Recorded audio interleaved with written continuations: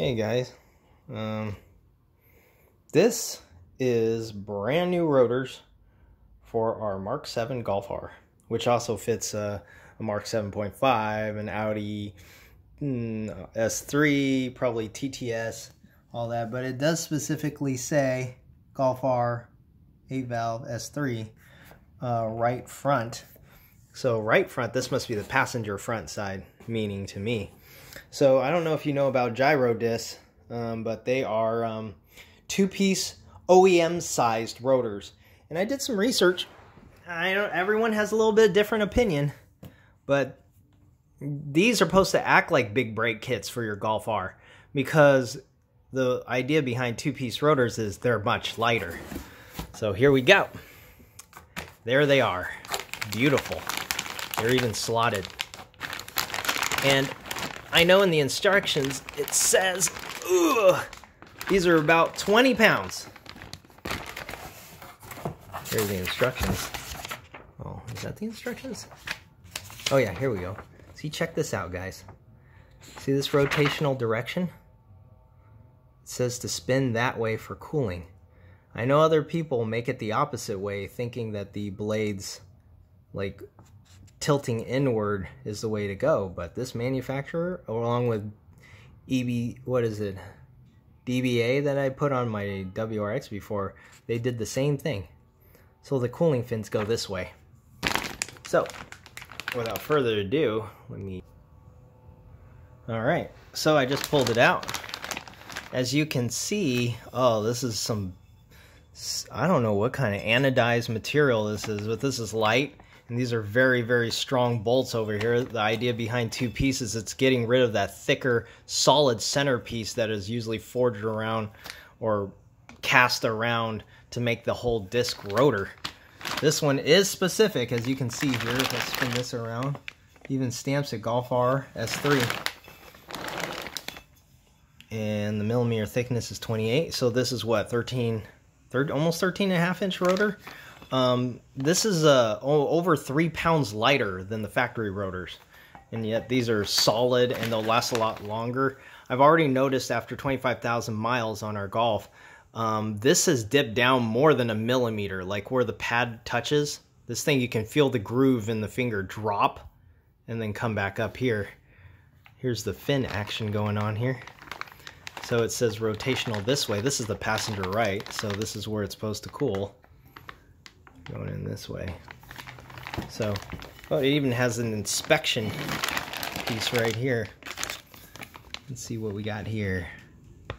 GiroDisc, max runout, 0.0005. Inspected, 311 in 2019. By removing this tag from the product, you affirm that you have read and agreed to the general conditions. Install instructions. It does say over here, like, of course, us Shade Tree mechanics have done plenty of brake jobs. If this is OEM replacement, this should feel and install very easily. So, you... let's see. So let me, yep. So I'm just showing you the rotors here, two-piece design.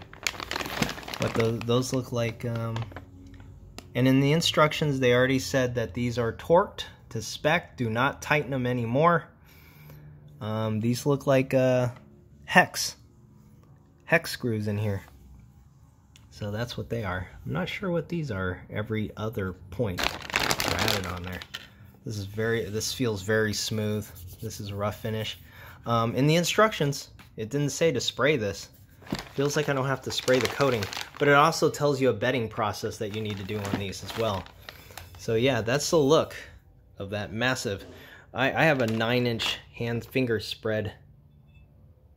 That's nine inches from thumb to pinky. Pretty close.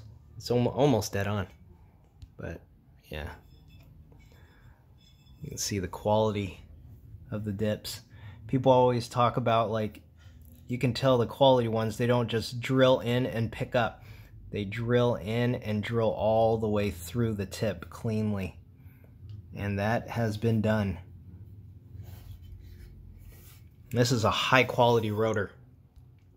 So having these uh, lighter uh, weight uh, rotors basically means losing rotational unsprung weight, which you know a pound could equal to you know several pounds of sprung weight on the car. It's like removing an entire passenger seat. So you know you're losing like maybe close to like 20 or plus pounds off your car by losing three pounds off of per rotor. Um, we also plan to do the rear ones as well. These weren't cheap. They're they you know they run about like eight eight fifty for a pair. So don't don't think they're a piece. Eight fifty a pair. The rear are like about eight hundred. They're a lot smaller, but then you also lose a lot of weight. We also plan on getting them for the RS3 too, and, and and I think it's supposed to lose. I have to look it up again, so don't quote me. I think it's five to six pounds per rotor because the center is much bigger on that and it's near a 15 inch rotor or 14.6 whatever the size is and you're going to have a large center cap that they're going to make a two piece out of. And this will help with stopping distance. This will help with handling because it's getting rid of uh, weight from the front anyways, and it'll, and it'll improve acceleration. You don't have to get those small little rotor kits for dragging. Just get some nice two pieces and still maintain your stopping distance. And it also, um, their theory is whatever I read on there. They were they were saying that this also maintains the calibration of your stock OEM ABS system because if you put a big brake kit on your uh, OEM car, you know there there's some calibration that could or needed to be done besides just slapping it on. You know, so that eliminates that issue get you get a nice aftermarket, a stronger rotor that will last a lot longer. Because guess what, guys? I I, I tried to ask the um, you know the local Midas or something if they could uh, re um, resurface our rotors, and they touched the material and they said this is off of a Volkswagen, right? And I go, yep. They said the material's too soft. You cannot refinish them. So basically, when they're ruined or they're done with, you have to rotate them anyways or I mean, you have to throw them out and buy new ones. So we're going to buy ones that basically will stand the test of time, a lot stronger, and improve the uh, um, the overall characteristic of the car's uh, performance. And there we go. Oh, on top of that, this is a little bonus thing. I didn't want to do a whole video on it, but I got 034's uh, stainless steel brake lines too. So there's your stainless steel brake line kit. It says S3, but um, they um, they uh, you know include that as the Golf R as well because the, I've confirmed with them or they wouldn't have sent this to me. but anyways, that's what we're changing. We're also going with um, high performance pads and changing out to uh, Mo Motul uh, racing brake fluid as well. So that would be like a big brake kit upgrade doing these. It's going to be fantastic. Thanks for watching.